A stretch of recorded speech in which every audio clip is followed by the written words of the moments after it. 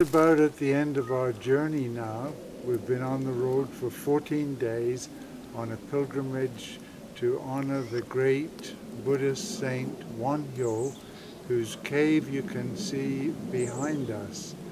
And this is the cave that he took shelter in one night about 1,300 years ago as he traveled from Gyeongju to a place near Pyeongtaek in an attempt to reach China.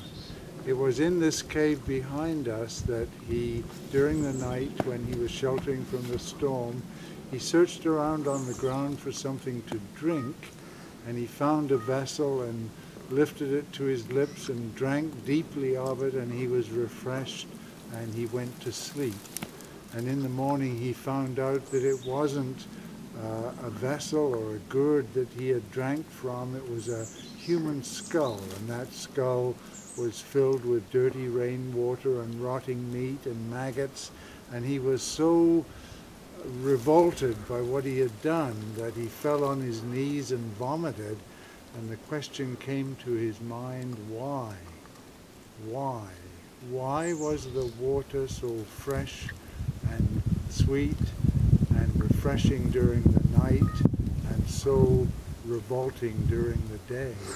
And the answer came to him that it was the mind that truth exists in the mind.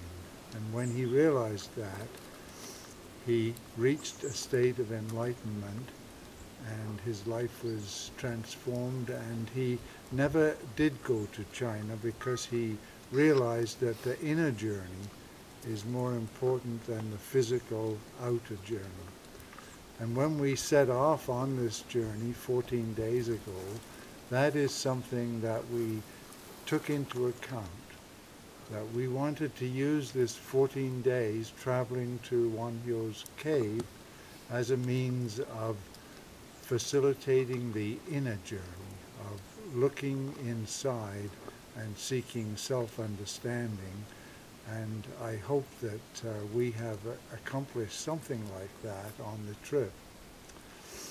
You know, the, the, the pilgrimage was inspired by the kindness that the Koreans uh, showed us and when we were here working and we decided to do something to honor uh, them and uh, we thought that uh, a pilgrimage to celebrate the enlightenment of Wonhyo was a wonderful way to show our appreciation. But what happened during this pilgrimage, during this trip, is that we were shown again so much kindness and goodwill by Koreans that we feel, I feel, inspired again, that uh, this was a very worthwhile way of uh, saying thank you. When I think back on our first night, when we got lost and we were caught out in the dark without lodgings and shelter, and um, Sangmin Sangmin Sunam managed to uh, talk to a monk who lived in a small temple near Uasa and he persuaded him uh, to give us lodgings during the night.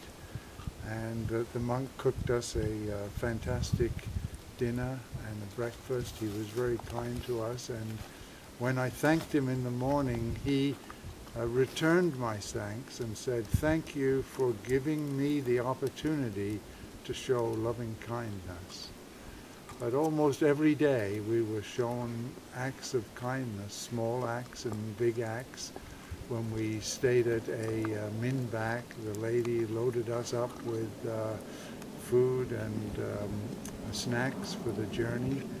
Um, uh, several abbots have given us donations, and uh, we every time we stayed in a temple, we we really had to pay, perhaps never had to pay.